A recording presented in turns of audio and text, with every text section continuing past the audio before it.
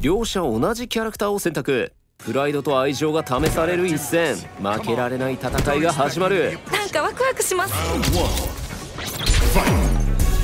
あファーストラウンド。注目していきましょう。ビシバシやり合ってるところが見たいです。うまく打撃をさばいていく。さあ試合は序盤どう崩していくか。ここからどう攻めるんですかね。どうだ？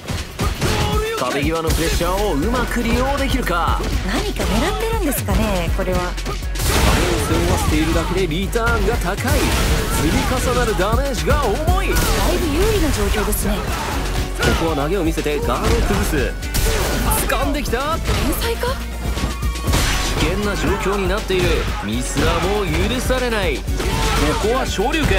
スーパーアーツを使って KO プレイヤー1ここはきっちりラウンドを取っていた。次はどう動くか。勝負はまだこれから。って感じですね。さあ次のラウンドも見ていきましょう。対空きっちり。ナイスナイス。受け止めな。これはパニッシュカウンターのチャンスは見逃さない痛い。ナイスナイス。上からの攻撃はガードでしのぐ。ここで壁やられ。相手の守りをこじ開けていくやる気満々だ。追い詰めたこの状況。腕の見せ所だ。どうなるんですかね。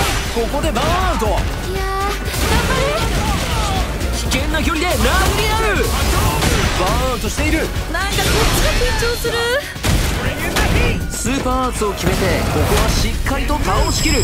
お見事。ここでフィニッシュ。決めてった。ナイス。さあ次で最終決戦もはや気持ちの勝負となった。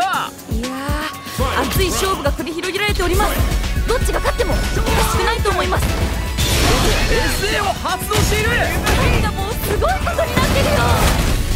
3本の SA ゲージを使い神竜烈波を叩き込んでいく。さあ勝利を手にするのはどっちだ？どっちが勝つの？これ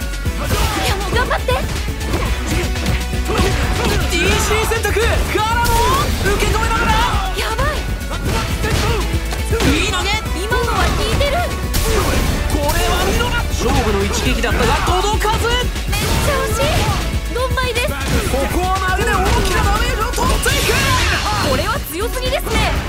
弾力が問われる状況になった。すごくに天才気合の勝負になった。決着。うわー。決まっちゃいましたね。